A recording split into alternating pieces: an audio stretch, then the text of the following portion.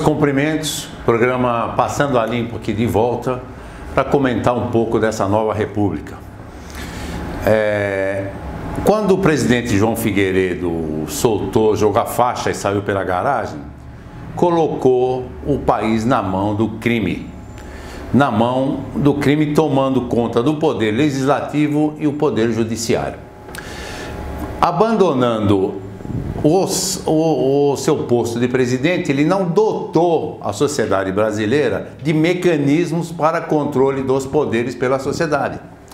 Então nós estamos vendo isso que está acontecendo hoje. Nós temos um judiciário trabalhando como quase um poder moderador, onde o Senado, que tem a obrigação de fazer a verificação e o controle do Judiciário em cima da Constituição, preso porque os seus membros do Senado estão com processos dentro do STF. Então nós temos um círculo vicioso.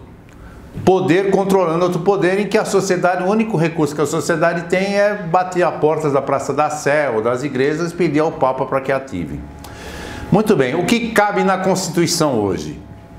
E que os seus redatores realmente foram bem, bem inteligentes e colocaram o artigo 142 à disposição. E o Exército tem a obrigação de defender as instituições do crime, que é o resumo disso. Isso não está ocorrendo. O presidente chamou o seu povo para que isso fosse feito. O povo foi à rua. O povo fez as manifestações atendendo às solicitações do presidente o Poder Judiciário retraiu-se nas suas atividades, segurou um pouco das suas atuações e está cumprindo razoavelmente o seu trabalho lá. Muito bem, o que foi substituído? Qual, qual atividade foi substituída pelo poder instituinte?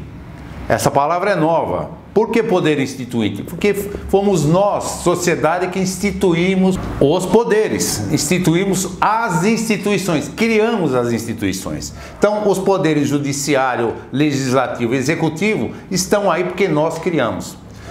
O que o crime fez? O crime substituiu o poder instituinte pelos plebiscitos, em que você diz sim ou não. Uma questão muito interessante foi a questão do, do desarmamento, em que a sociedade quis que fosse legalizado o porte de arma. O crime, através de medidas administrativas, quase que impediu isso. Você, para você ter um porte de arma, você precisa gastar quase um ano entre documentos e atestados.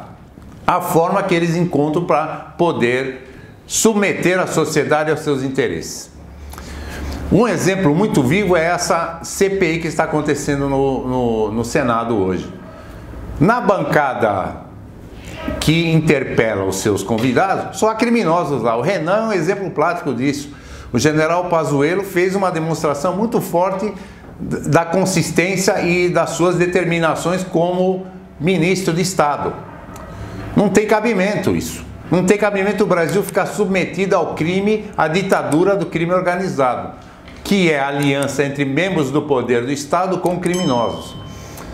Nós temos que ver isso, nós temos que cobrar a atitude do presidente para que implemente o artigo 142 nas instituições.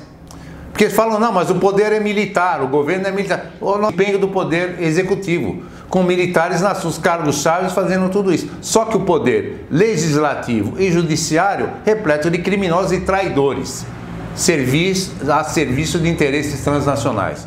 Isso precisa ser modificado. O Brasil não é uma potência, o Brasil é o país mais rico do mundo e os interesses internacionais estão submetendo seu povo à miséria, à miséria quase que absoluta. Se não fosse essa, essa contribuição do que o presidente colocou, que é o auxílio emergencial, estaríamos perdidos, submetidos a governadores que roubaram e nem, sem, nem são convidados a essa CPI.